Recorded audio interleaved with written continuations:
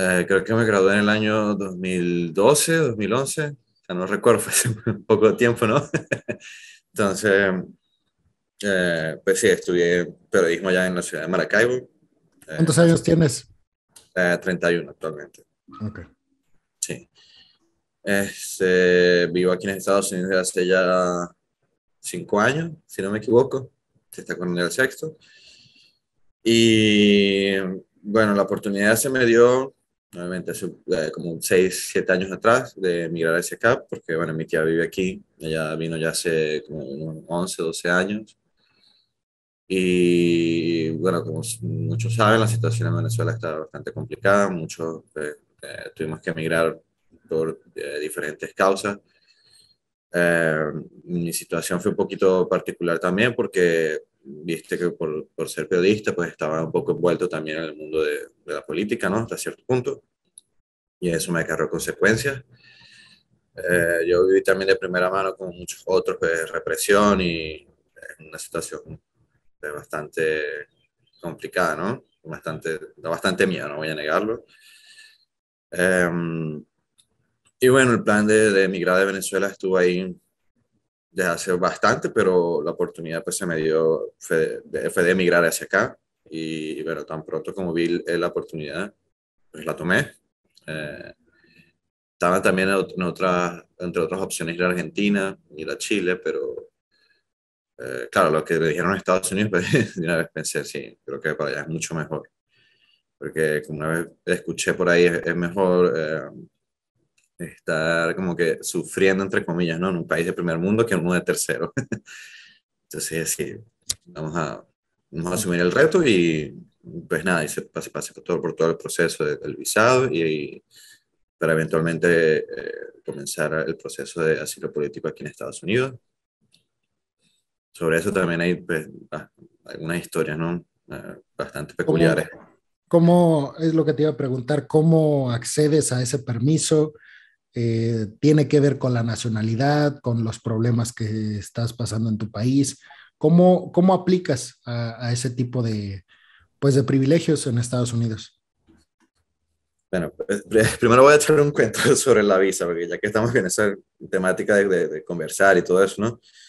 Eh, tengo como un chiste así medio interno, o sea, conmigo mismo, ¿no? Que si no es difícil, no es conmigo. Entonces, eh, pues a lo largo de la vida pues, siempre me ha tocado pues, asumir retos o circunstancias que a veces son un poco complicadas, ¿no? Entonces, para empezar, eh, bueno, yo nací en un pueblo eh, relativamente pequeño, pues, por tanto mi familia, especialmente mi mamá, es muy de un poco lenta, vamos a decirlo así, ¿no? Para, para hacer ciertas cosas. Entonces, este, cuando estábamos en el proceso de visado, pues primero ella pues que era tirar la toalla, ¿no? Porque a veces faltaban que unos papeles, una cuestión así, y, le, y, el proceso se hacía en otra ciudad, en la, en la capital, en Caracas. Entonces, eh, fue primero el reto de tener que yo jalar a mi madre para que fuera, para tipo llevarla, ¿no? Por todo eso. Y pues casualmente, como ya yo tenía 25 años en ese momento, eh, a mí me tocaba solicitar el visado pues como un individuo, no como familia, o sea, como si yo fuera otra familia. Entonces, eh, pues me dividieron, yo igual, igual con, mi, con mi esposa ya en ese momento, pero ya la colocaron dentro de mi grupo de familia, ¿no? O sea, con, mi mamá, mi hermana y, y, su esposo, ¿no? Ahí, eh, pues por cosas de la vida, abren una taquilla para mí solo, para pasarme a mí, porque no sé, no había ni cola, pero decidieron pasarme a mí solo con otro oficial. Y bueno, y me preguntas, ah, pero tú ¿vas con quién? No, entonces yo le explico toda la situación que me vivieron y ahí eh, le piden a mi esposa que venga conmigo porque éramos como otra familia aparte, ¿no? Bueno, y casualidad, a mi, a mi mamá y a mi hermana y a su esposo le, le negaron la visa y a mí, como con mi esposa, sí nos los aprobaron, ¿no? Pero esta visa era de turista. Como de turista, de turista. sí es. Okay. Eso es lo primero que tenés que sacar. El primer paso era esa, sacar la visa de turista.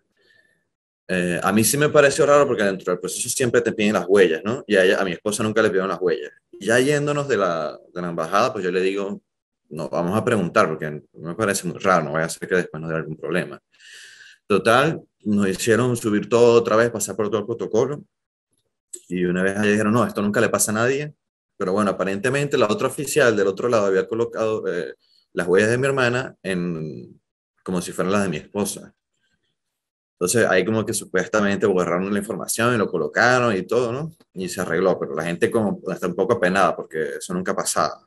Entonces son el tipo de cosas que siempre me pasan a mí. Por suerte yo ya yo soy independiente, ¿no?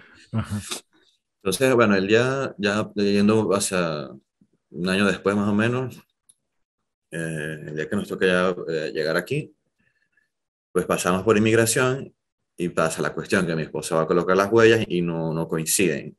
Y entonces imagínate, ya habíamos pasado todo el proceso del visado y todo, estábamos a punto de entrar y estaba la... Viajaron en avión y ya estaban en, en qué ciudad, por qué ciudad entraron. Eh, Miami. Miami, ok. Estamos en migración ya, entonces imagínate, este, hemos hecho tanto, para, como, como dicen a veces, tanto nadar para morir ahogado en la orilla, ¿no? Y entonces, bueno, eh, nos pasan a otro, otro lado, no era el cuartico, aquel cuartico famoso, yo no sé si en México lo conocen también, eh, un cuartico que cuando pasas por inmigración, no, venga para acá y ya lo tienen unas horas y le preguntan cosas para ver si se va a quedar, no, no era eso, era una cosa un poco más abierta. Entonces ahí pasa otro oficial y le pregunta a mi esposo, pues, cuál era la situación. Y sabes que uno siempre tiene que tener, tener mucha, mucha calma, ¿no? Estar muy seguro de lo que va a decir, mucho al punto. Y claro, ya no tenía mucha experiencia en eso, pero lo hizo bastante bien y le explicó y, y, con todo eso que fue en inglés todo también, ¿no? nosotros ya venimos sabiendo inglés, pero no es lo mismo saber inglés en Venezuela que ya tenerlo como diario. Eh, bueno, el oficial entendió, me pareció raro, de repente, no sé, no sé si es algo común, pero se hizo entender en pocas palabras y, y bueno, pasamos, ¿no? Entonces la primera fase, bueno, completada, ya estamos aquí dentro, legales, todo lo demás. Ahora, la parte del, del, asilo, pues... Eh, ¿Y qué le, ahí qué les dijo el, el, oficial? O sea, no coincidieron. Tu, tu esposa le explicó que que allá se habían equivocado, que había habido como un error, que le habían confundido con las huellas de tu hermana y todo.